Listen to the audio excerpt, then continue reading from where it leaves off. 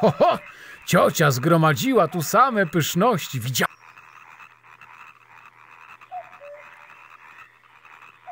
To wieko coś przykrywa. Podniosę wieko hakiem. Tylko woda. Gdzie może być maść? Poszukajmy w wodzie. Coś tu jest. Wyciągam. Uwaga, otwieram. Fu, robaki łamignata do łowienia ryb. Coś tu jest. Wyciągam. Uwaga, otwieram. Jest. To maść latania. Biorę.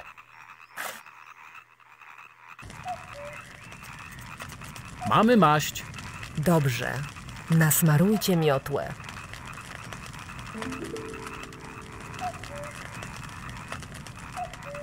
Maść latania.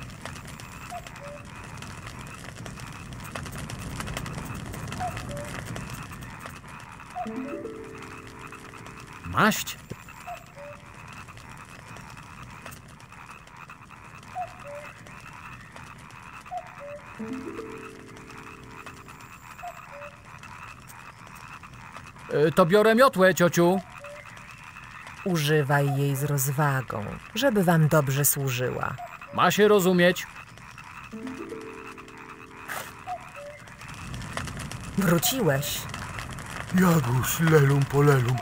Szukałem wszędzie, ale zgubiłem ślad. Hodon dosłownie rozpłynął się w powietrzu. Wiem, mężu. To trudny przeciwnik. Kajko i Kokosz ruszają jego śladem aż nad morze. Co mam robić, lelum? Strzeż Jagi i Grodu pod naszą nieobecność. Jutro powiedzcie Mirmiłowi, że wyruszyliśmy na ostateczną rozprawę z Hodonem. Tym razem mu nie odpuścimy. Nie martw się, ciociu. Uwolnijmy Gdasia. Naprzód, Kajko! Uważajcie na siebie. Powodzenia, lelum. I tak Kajko i Kokosz wyruszyli uwolnić kruka Gdasia z rąk czarnoksiężnika Hodona.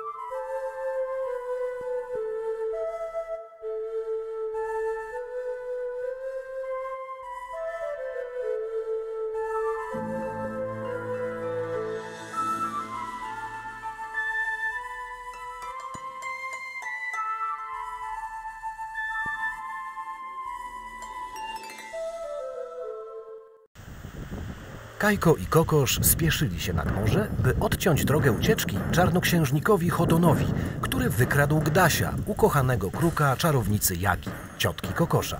Aby wojowie Mirmiła ubiegli Hodona, Jaga pożyczyła im swoją miotłę i maść latania.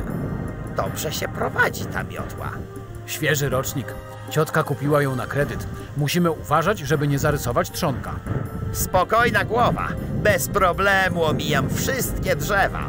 Nie o drzewa się martwię. Spójrz tam.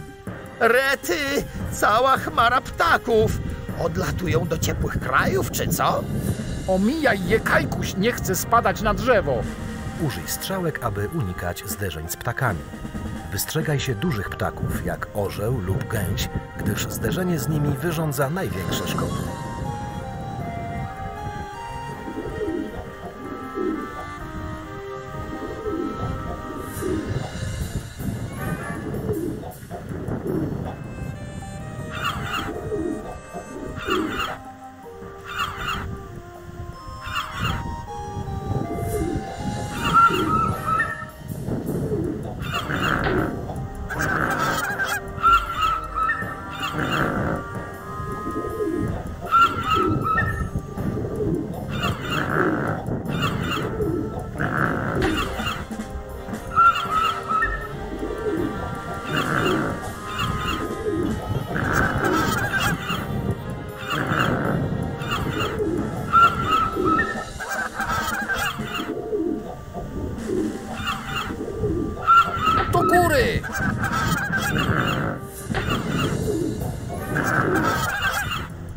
w lewo!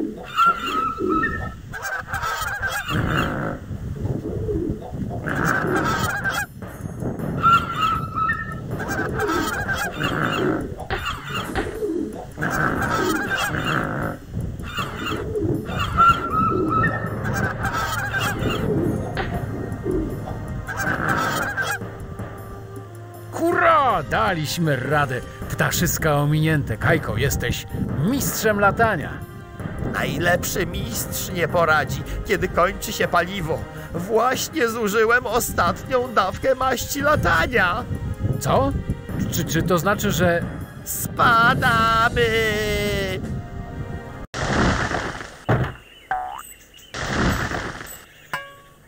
Żyjesz? Kokoszku, no już ocknij się! Uff, otwierasz oczy. Ile palców widzisz? Soczyste kiełbaski, mniam. Au! Żarłoku, zostaw moją rękę! Kajko? Co się stało? Dlaczego mam guza? Gdzie mój hełm? Mieliśmy wypadek. Skończyła się maść latania i... O, przypominam sobie, miotła cioci. Co z nią? nadaje się tylko do kasacji. Co my narobiliśmy, Kajko? Nie lamentuj. Dla Jagi najważniejszy jest Gdaś. Musimy dalej ścigać Chodona. Chodźmy, widzę jakąś wioskę. Uratowało się coś z naszego ekwipunku? Tylko trucizna Chodona, którą hegemon chciał wrzucić do naszego grodu. O, co za pech. Człowiek ma wypadek, zestresował się, musi szybko coś zjeść, a tu zostaje mu tylko trucizna. Czekaj! Widzę jakiegoś woja przy bramie wioski. No i co z tego? Spytaj go, czy nie ma czegoś do jedzenia. Może za truciznę da nam kiełbasę. Spójrz na morze. Przy pomoście cumuje łódź piratów.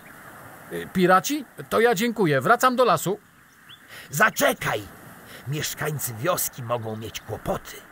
My też zaraz będziemy je mieli, jeśli szybko nie uciekniemy. Schowam się za tym kamieniem. Stój! Ech, ty uparciuchu, zaczekaj! Wróć za tamte głazy. Jestem mniejszy, więc mnie strażnik tutaj nie dojrzy. Dobra.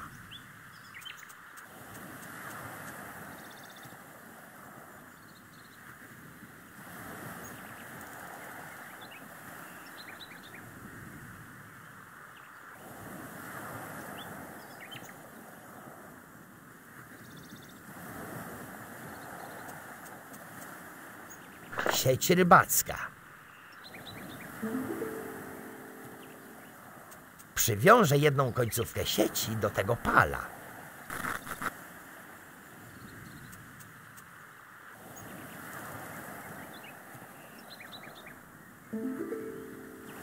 Palisada w tym miejscu się chwieje. Mógłbym to jakoś wykorzystać. Mogę zaczepić sieć o czubek palisady. Drugą końcówkę sieci przywiązałem do palisady. Co dalej? Zwykły kij. Wezmę go.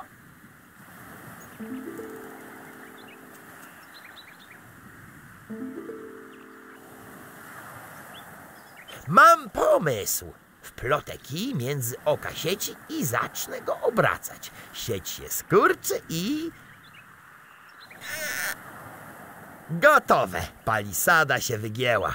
Możemy przekraść się do wioski.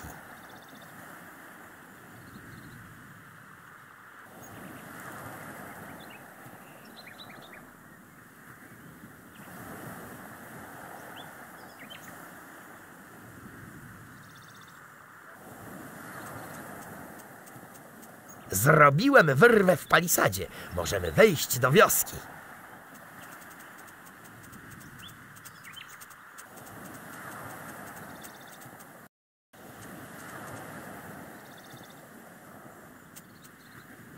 Kolejna sieć. Ta też może się przydać.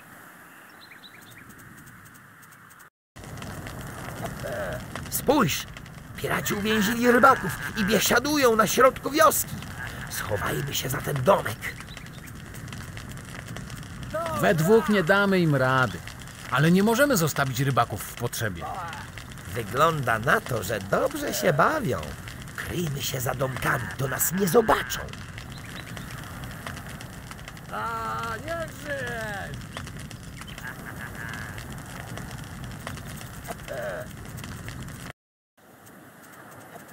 Ta chatka jest świetnym punktem strategicznym. Przez okienko widać piratów jak na dłoni. Gdybyśmy mieli łuk i strzały, moglibyśmy ich stąd ostrzelać.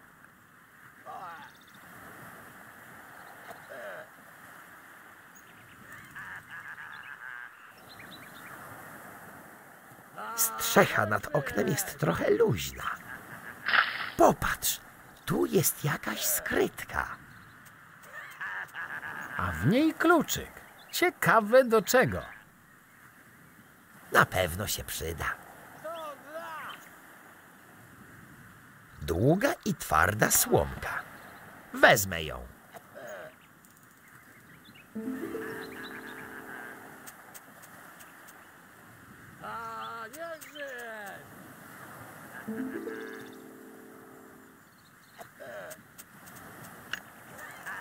Tak myślałem. Kluczyk pasuje do zamka kufra. Zobaczymy, co jest w środku. Obcęgi? Weź je, mogą się przydać. Obcęgi.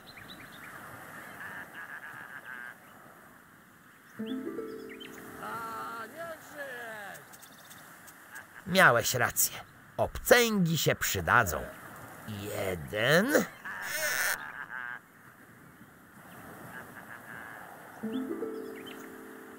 I drugi. Zobaczymy teraz, co jest w środku.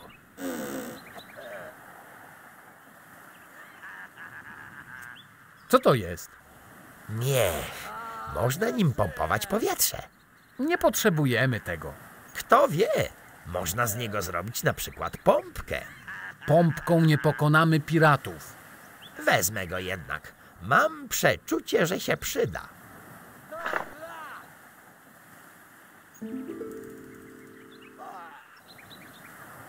Wsadziłem słomkę w otwór wylotowy pompki. Otrzymałem coś w rodzaju lufy. Super, mamy pompkę z lufą. Niech no popatrzę.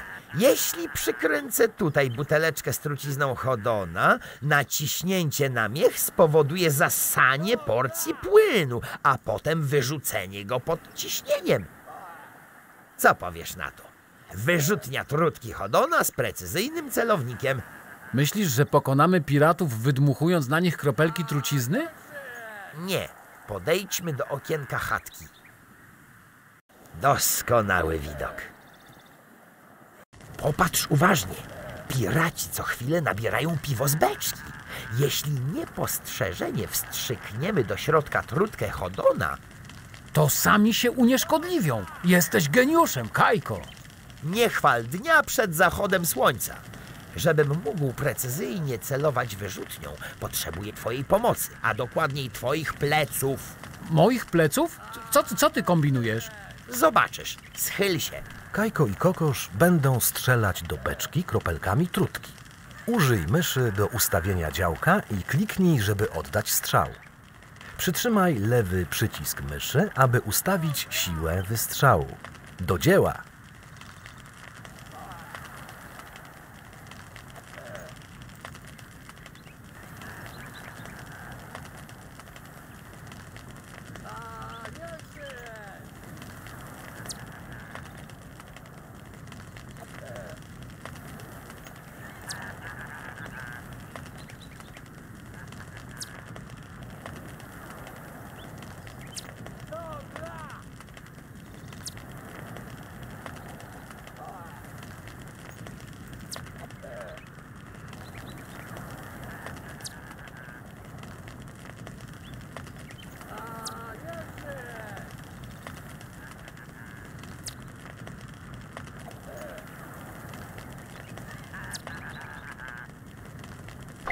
Trafiony!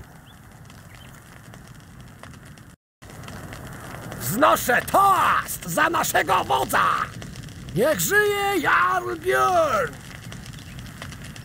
A, a niech żyje do dla! Co do kata? Takie macie słabe głowy?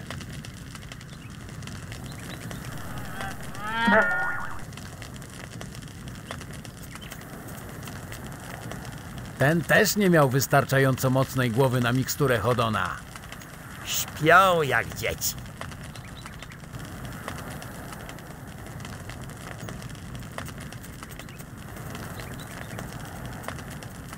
Zaraz was uwolnimy.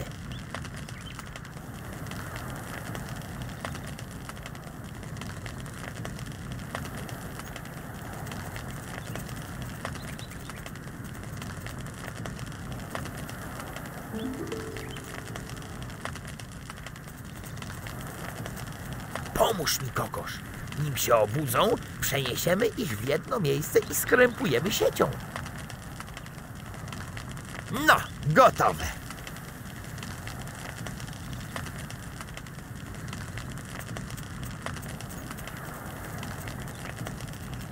Zaraz was uwolnimy. Zaraz was uwolnimy.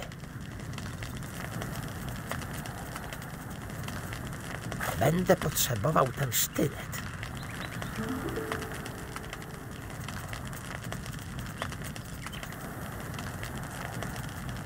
Nie ruszaj się, przetnę więzy. Dzięki ci, szlachetny woju.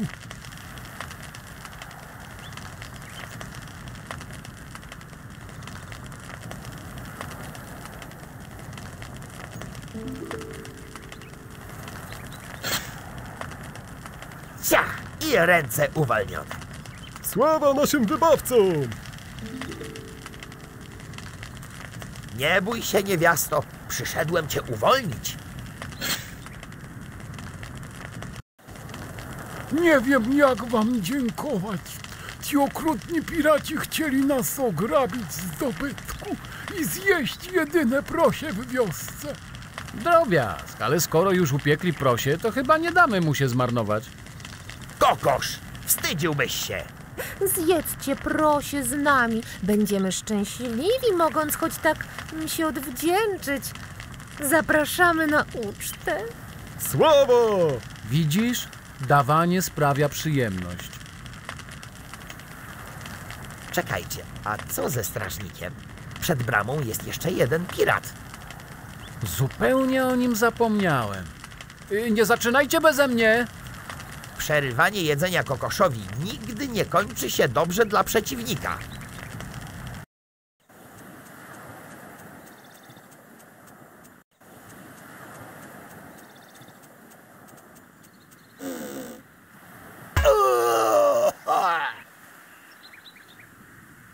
Kajko i Kokosz zjedli z rybakami obfity obiad. Piraci leżeli uwięzieni w chlewiku, aż zjawiła się straż miejscowego kasztelana i odtransportowała ich do lochu. Straciliśmy sporo czasu. Hodon ma nad nami przewagę. Rybacy wiedzą, gdzie jest wyspa Hokulandia z mroczną twierdzą na szczycie skały, ale nie radzą tam płynąć. Podobno to wyspa potworów. Od jednego z rybaków dostałem księżycowy kamień, który wskazuje drogę do wyspy. Wsiadajmy zatem do łodzi pirackiej i ruszajmy.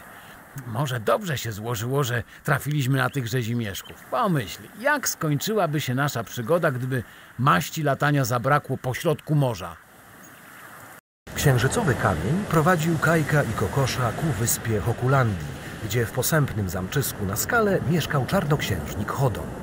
Przyjaciele starali się nie stracić lądu z oczu, aby nie utonąć w razie uszkodzenia łodzi. Myślałem, że ten rejs może być niebezpieczny, a jak na razie nudzę się i, i robię się głodny. Długo jeszcze będziemy płynąć? Skąd mam wiedzieć? Lepiej nie narzekaj, bo sprowadzisz jakieś nieszczęście. E tam, nie pamiętam kiedy ostatnio uczestniczyłem w tak nudnej przygodzie.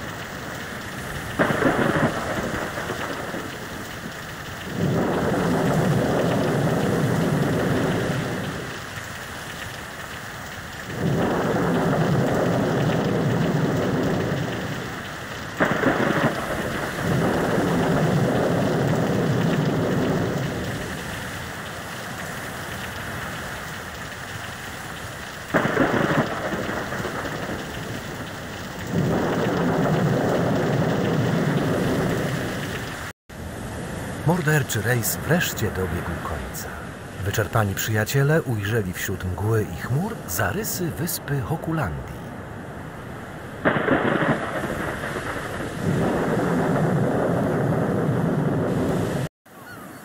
Wreszcie się trochę przejaśniło. Nie zmienia to faktu, że wyspa jest wyjątkowo ponura, a ja cały mokry. Brr. Może dzięki burzy nikt nie zauważył naszego przybycia. Znajdujemy się na terenie nieprzyjaciół. Co jeśli czają się na nas gdzieś w krzakach? Nie przesadzaj.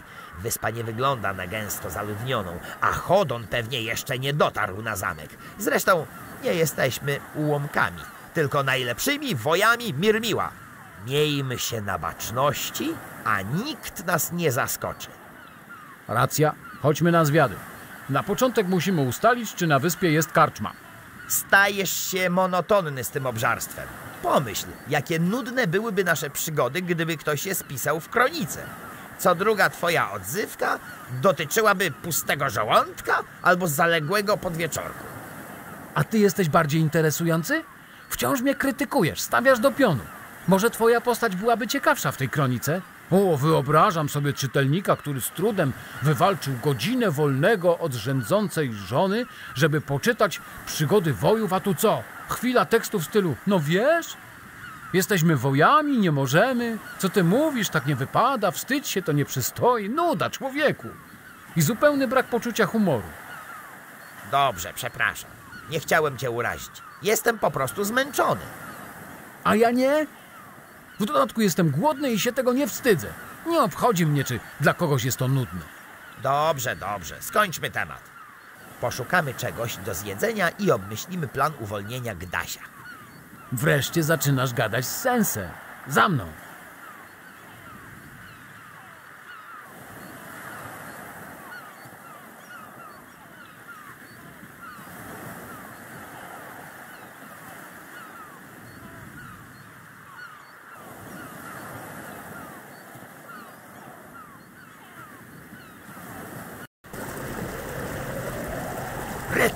Kajko, widzisz to co ja? Mieszkańcy wyspy wyglądają jak dziwolągi. To pewnie sprawka Hodona. A jeśli on gdzieś tu jest?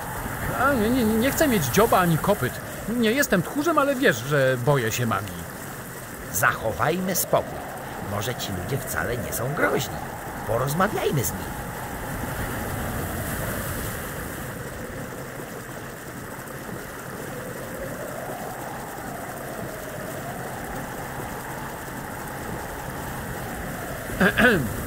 Dzień dobry. Przepływaliśmy nieopodal i zaskoczyła nas burza, więc postanowiliśmy się zatrzymać na tej uroczej wyspie. Szukamy schronienia i strawy. Moi złoci, widzę zdziwienie na waszych twarzach. Nie bójcie się, jesteśmy tylko zwykłymi kutkudach. Rybakami, których uzurpator Hodon pozamieniał w pół ludzi, pół ko... ko, ko, ko, ko zwierzęta. Chodon, chodon, znowu chodon. Czy istnieje choć jeden człowiek, któremu ten łotr nie zalazł za skórę? To wy go znacie? Tak, jesteśmy tutaj z jego powodu. Nie zdradziliśmy tego od razu, gdyż nie wiedzieliśmy, jak pani zareaguje. Hodon porwał ukochanego kruka naszej czarownicy.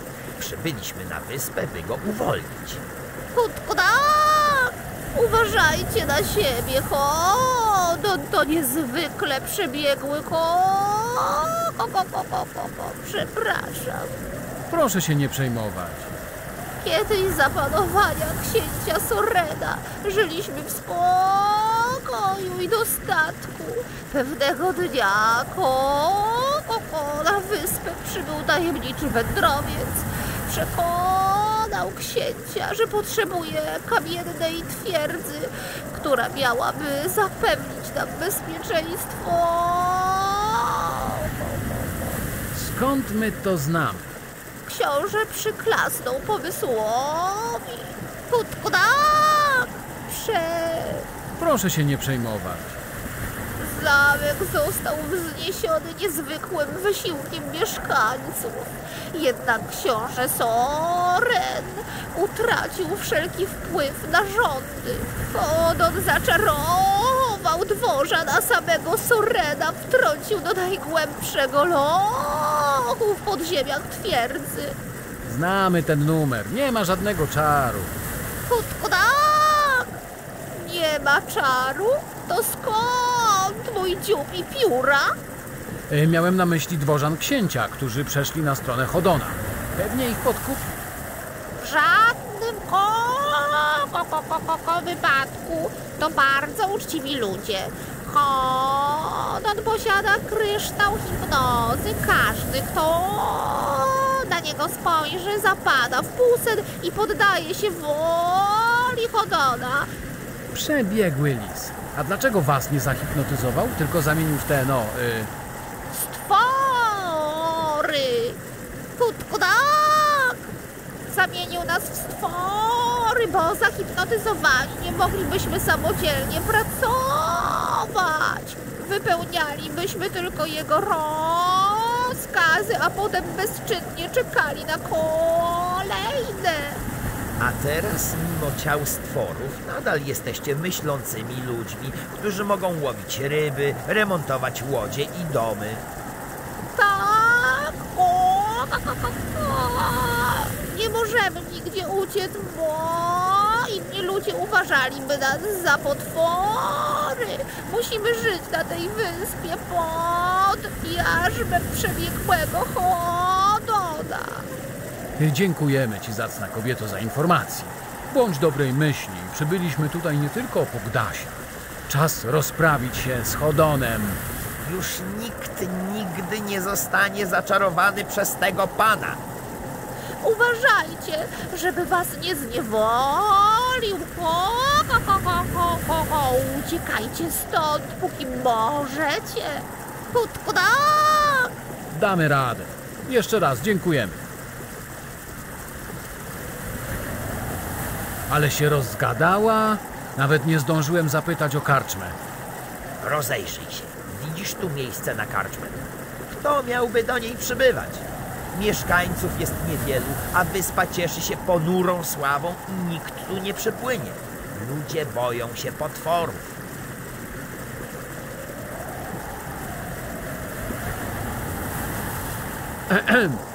Dzień dobry. Przepływaliśmy nieopodal i zaskoczyła nas burza. Nie mam czasu, daj mi spokój. Ja tylko grzecznie. Idź pan! Dziwny człowiek.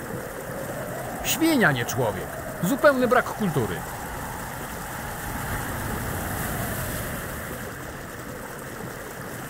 Popatrz, jakie fajne koło.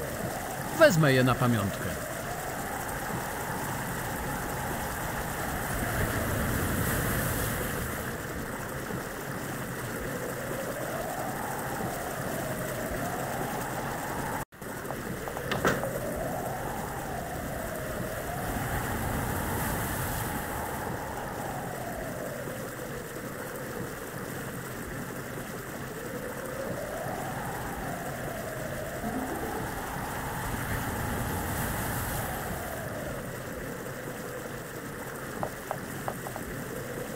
Tu powinno być okno.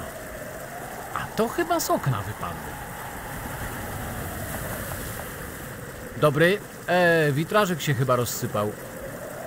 No i No nie wiem, można by naprawić. po co? No, żeby nie wiem, ładniej wyglądało. Aha, Aha. Aha. Czyli, że mogę, tak?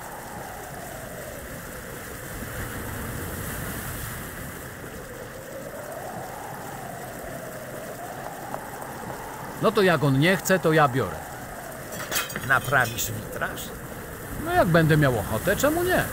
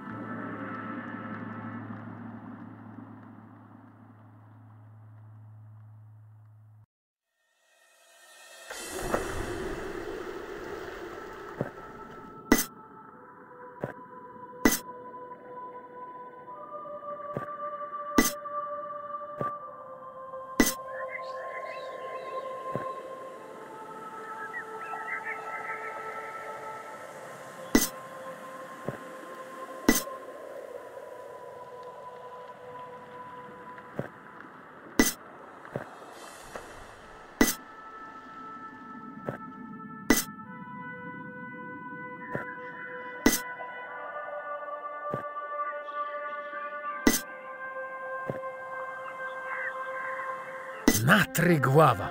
Tyle czasu układaliśmy ten witraż, żeby pooglądać sobie drzewo, księżyc, jabłko, motyla i koguta. Sam tego chciałeś. Myślałem, że złożymy jakąś piękną syrenę albo nimfę wodną. Teraz przynajmniej ładnie wygląda. Prawda, panie pająku? Może tak, może nie. Któż to wie?